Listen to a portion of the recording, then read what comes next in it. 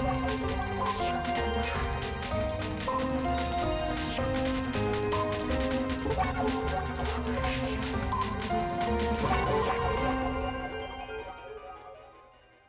Olá, bom dia. Eu sou Thaisa Dias e começa agora o Repórter NBR com as notícias do governo federal desta quarta-feira, 7 de março.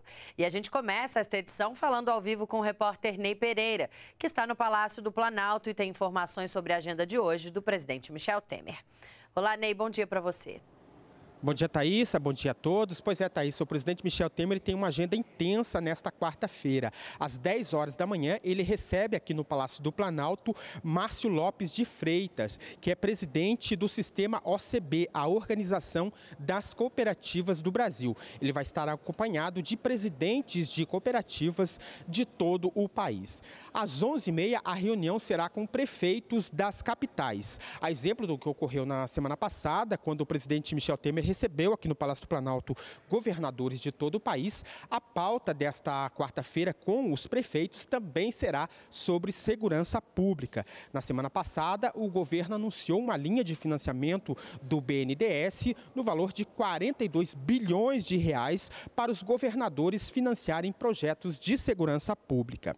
Bem, na parte da tarde, às quatro e meia, o presidente participa de uma cerimônia também aqui no Palácio do Planalto, que é a entrega de insígnias da Ordem Nacional do Mérito em memória à professora Ellen de Abreu Silva Batista eh, e também a cerimônia de imposição de insígnias da Ordem Nacional do Mérito Educativo. Eh, relembrando que a professora Ellen de Abreu Silva Batista morreu no ano passado ao tentar salvar crianças de uma creche em Janaúba, Minas Gerais, quando o vigia da escola eh, jogou combustível nas crianças e ateou fogo.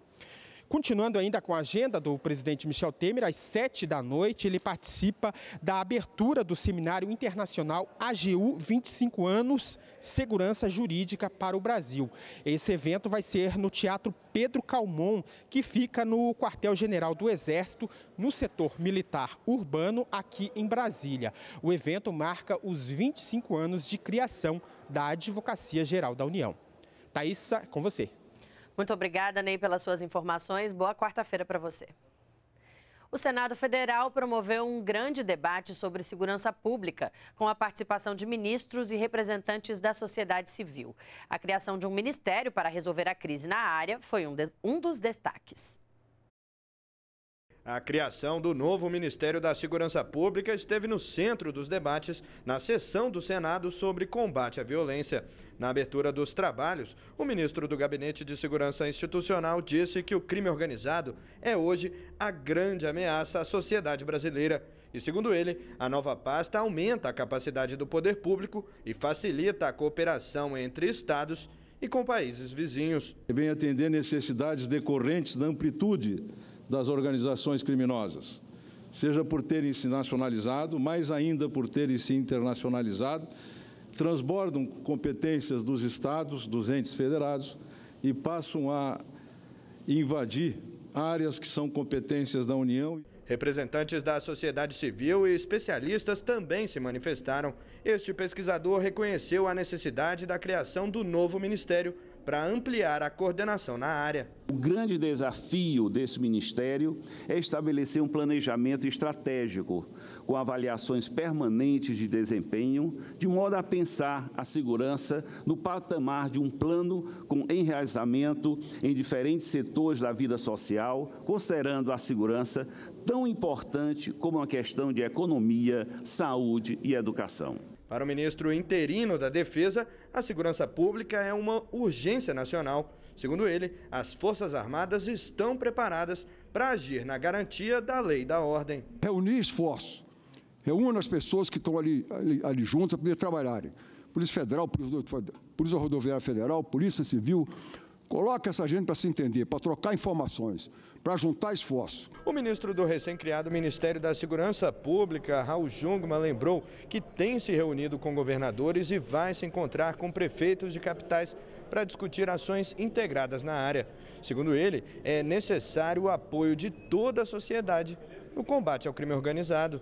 Jungmann traçou um histórico da evolução da violência no país e disse que a crise na área ameaça a democracia e toda a sociedade, mas especialmente os moradores de regiões dominadas por organizações criminosas, pelo tráfico e por milícias. Uma população indefesa, uma população encurralada, uma população sem ter ninguém por ela. Uma população que vive hoje nas periferias, encurralada e encarcerada dentro das suas próprias casas, é uma população que é refém é uma população que é indefesa, sobretudo, a propostas populistas, a propostas regressivas, autoritárias.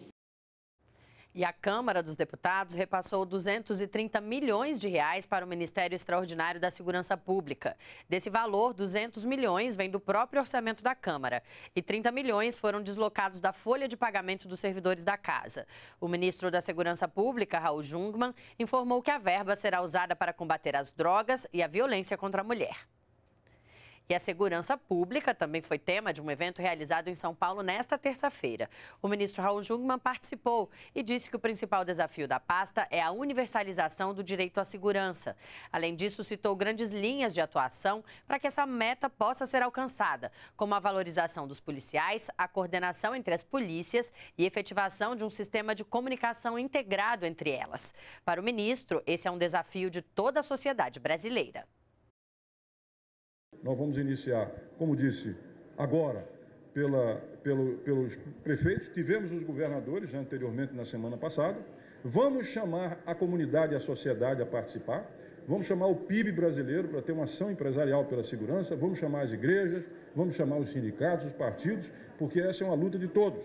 Para fazer a fonte secar, a fonte do crime, a fonte da violência, todos nós temos que estar juntos, em defesa de valores, em defesa da vida. Após o evento, em conversa com os jornalistas, o ministro também falou sobre a necessidade de uma revisão no sistema carcerário brasileiro. Nós temos que discutir uma política em que não entre nada que não seja devidamente autorizado nos presídios e penitenciários e não saia informação para o crime que está na rua.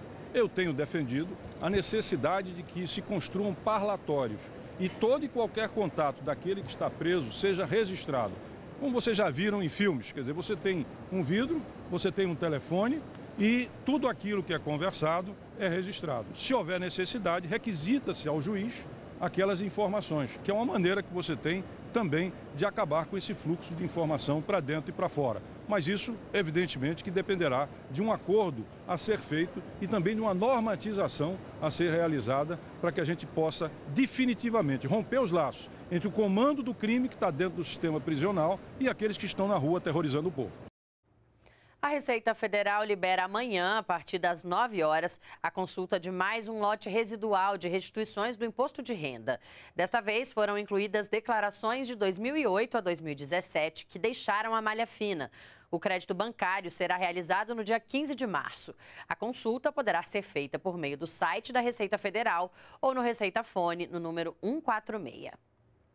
Nós ficamos por aqui. Você pode rever as reportagens no YouTube e toda a nossa programação também está na página da NBR na internet. Continue com a gente na NBR, a TV do Governo Federal.